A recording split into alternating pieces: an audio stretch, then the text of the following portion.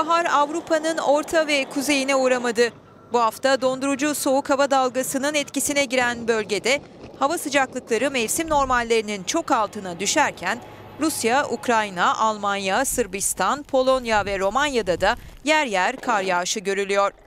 Romanya'da hızı saatte 70 kilometreyi bulan dondurucu rüzgarlar yaşam şartlarını zorlaştırıyor. Sıcaklıklar sıfırın altına inerken dağlarda kar yağışı etkisini gösteriyor. Ukrayna'nın doğusunda kar kalınlığı 30 santimetreyi bulurken ülkenin ikinci büyük kenti Harkov'da ağaçlar ve elektrik direkleri yağan karın ağırlığından devrildi. Harkovlu bu kamyon şoförü 70 yaşına kadar Nisan ayında böyle bir hava durumu görmediğini söylüyor.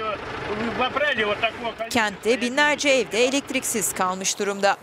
İsviçre'de ise iki günde kalınlığı 20 santimetreye varan kar yağışı gerçekleşti.